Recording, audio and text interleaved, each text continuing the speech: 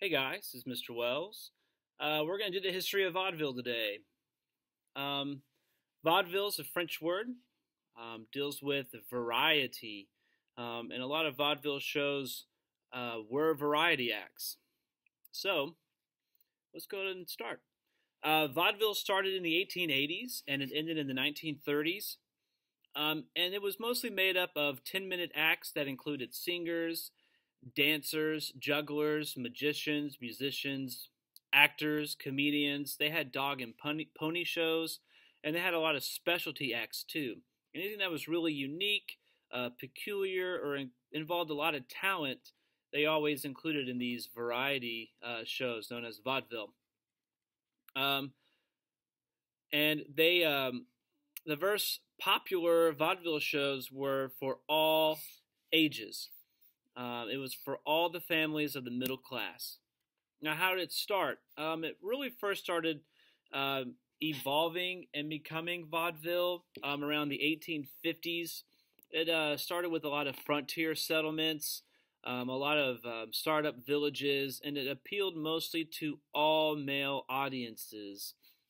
They were originally not family friendly at all, and they were considered very school inappropriate.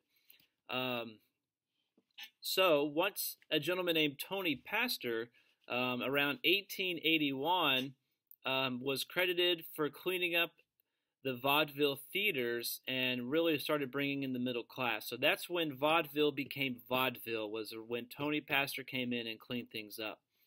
He banned alcohol and he also forbid any form of indecency on the stage or in the theater and he ensured to everyone that all the materials and acts were acceptable uh, to the general and public, including the families. Now, he also gave away such gifts and he gave away hams uh, to the audience members. Um, he really made a uh, really big entertaining time for the theater. Um, now, there's two other people that are also credited with, credited with the development of vaudeville, and that is B.F. Keith and E.F. Albee, um, known as Keith and Albee. Uh, they teamed up together in Boston to operate the Bijou Theater in Boston, Massachusetts. Massachusetts. It's a weird word. Um, and later, they developed one of the most prestigious and biggest vaudeville chains in the United States. Um, they even partnered with the Orpheum Circuit. Um, in Memphis, we have the Orpheum Theater, and that first started off as a vaudeville chain in the Orpheum Seeker circuit, which Keith and Albee ended up running. Um, now, the Keith and Albee operation was headquartered in the U- in New York City, and from there they actually sent bands of entertainers across America. Now, families uh, who saw a Keith and Albee vaudeville house or a show come into town uh, they were guaranteed uh, that all the performers um, offered had respectable acts and also led respectable lives. They were trying to push family friendly entertainment. That was a big push for them.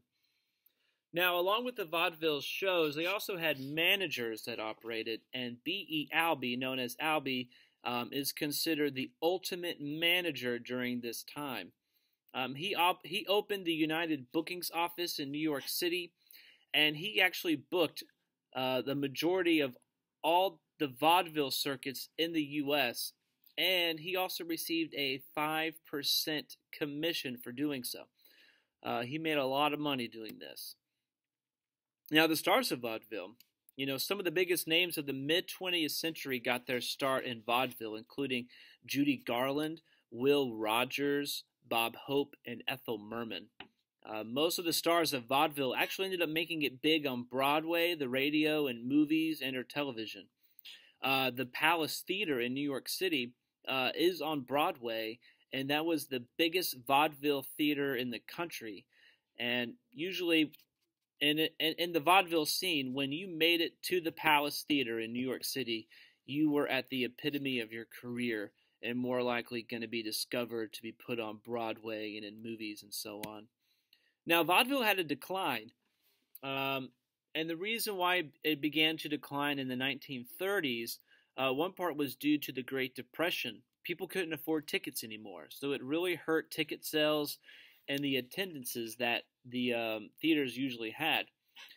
And then also during this time, we had the birth and popularity of talking and singing and dancing movies that brought vaudeville stars to towns on the big screen that provided a lot of fierce competition. So remember, I, li- I literally just said before all this that some of the biggest stars in the mid 20th, 20th century got their start in vaudeville.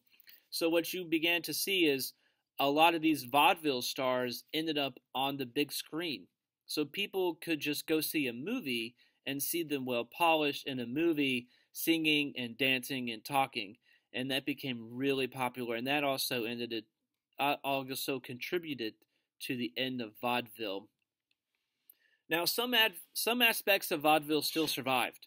Um, like in from 1948 to 1971 on CBS, um, Ed Sullivan brought a weekly vaudeville show. Um, also, from 1964 to 1970 on ABC, the Hollywood Palace on Saturday nights did the same thing.